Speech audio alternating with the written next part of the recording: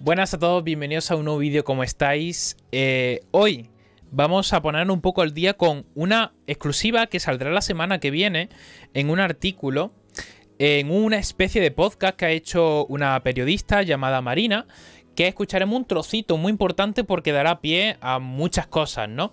Entonces, antes de todo, me gustaría recordaros que podéis suscribir a este canal, que haremos por aquí próximamente directos y cosas eh, relacionadas con el mundo de la televisión, con el tema de Antonio David, de Rocío Flores y demás.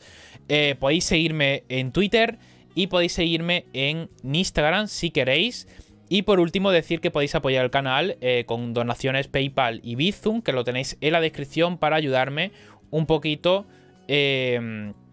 para ayudarme un poquito a tener, a conseguir este ordenador, ¿vale?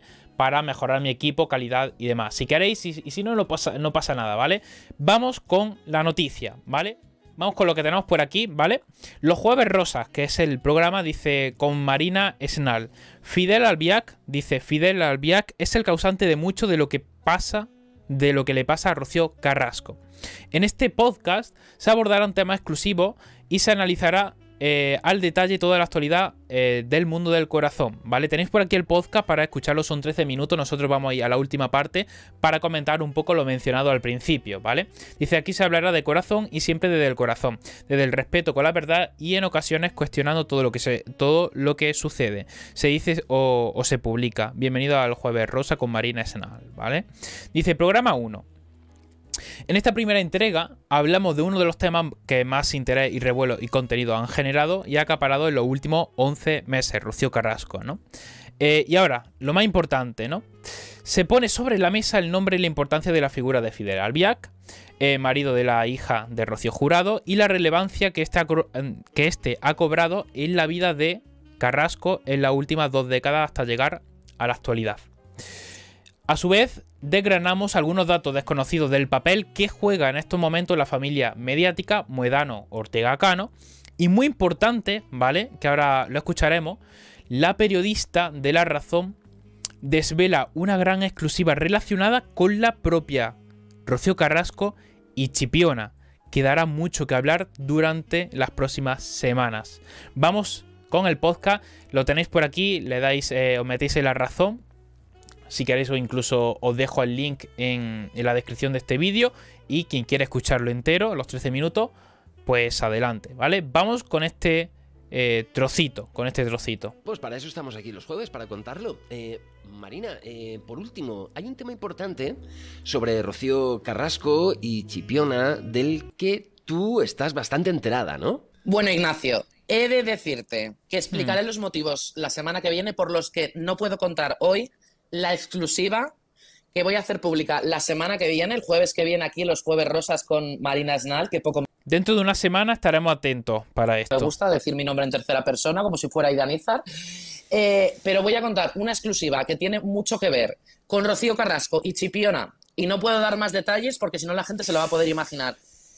Eh, mm. Cosas que Rocío Carrasco ha pedido y que pide por escrito, no lo digo yo, lo dicen los papeles, porque si hablamos de documentación yo también la voy a aportar que de oh. verdad que la gente no se va a creer.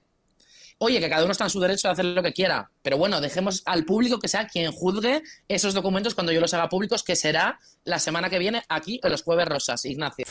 Habrá que ver esos documentos, ¿eh? Bueno, pues eh, de momento nos has dado una gran información, Marina, pero además nos has puesto a todos como diciendo, esto hay que escucharlo. Oye, ya tengo ganas. Decía en un trocito que también sí que pese a la exclusiva y todo, también eh, con este tipo de cosas pues se tiene miedo a las demandas, ¿no? Eh, estaremos muy atentos en cuanto a eso. Eh, interesante el podcast, lo estoy escuchando y se trata temas que ya sabemos, ¿no? Pero creo que se me, se me hace, no sé, se me hace agradable escucharlo y no, no es eh, aburrido ni nada del estilo. Eh, quería aprovechar para hacer un vídeo muy cortito y aprovechar y anunciar un poco esta exclusiva que estaremos atentos. A ver si dicen alguna cosa más. Y tanto que sí, Marina. Bueno, pues solo agradecerte estos minutos y recordar a la audiencia que, mm. bueno, pueden suscribirse, pueden dar like a este episodio Imagino que también estará en YouTube, puede ser, ¿no?